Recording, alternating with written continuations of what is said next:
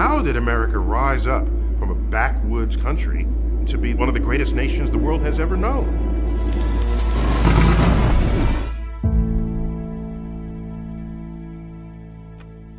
We pioneered industries.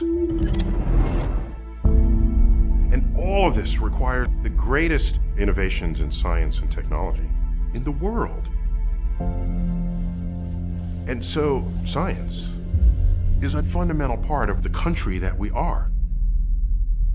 But in this, the 21st century, when it comes time to make decisions about science, it seems to me people have lost the ability to judge what is true and what is not, what is reliable, what is not reliable, what should you believe, what should you not believe.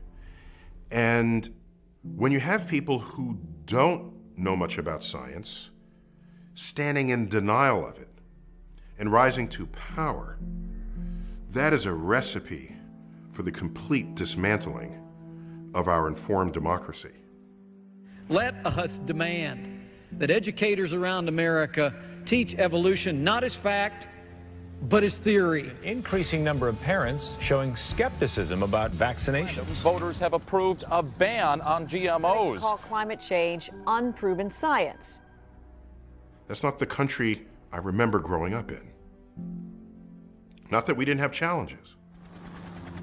I'm old enough to remember the 60s and the 70s. We've got a hot war and a cold war, civil rights movement, and all of this was going on. But I don't remember any time where people were standing in denial of what science was.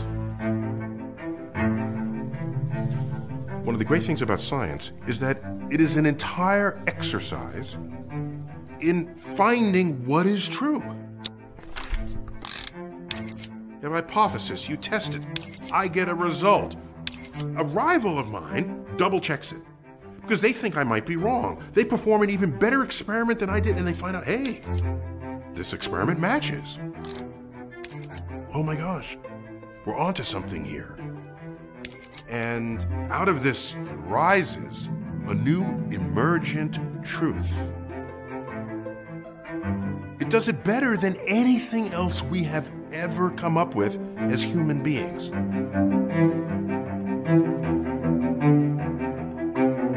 This is science. It's not something to toy with. It's not something to say, I choose not to believe equals MC squared. You don't have that option.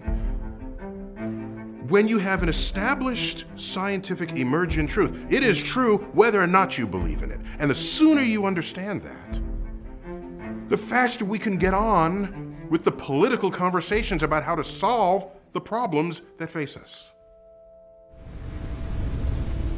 So once you understand that humans are warming the planet, you can then have a political conversation about that. You can say, well, should we, are there carbon credits? Do we do this? Do we put a tariff on it? Do we fund? Do we subsidize? Those, those have political answers. And every minute one is in denial, you are delaying the political solution that should have been established years ago.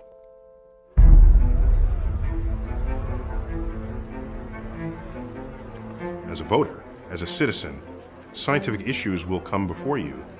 And isn't it worth it to say, all right, let me at least become scientifically literate so that I can think about these issues and act intelligently upon them? Recognize what science is and allow it to be what it can and should be in the service of civilization. It's in our hands.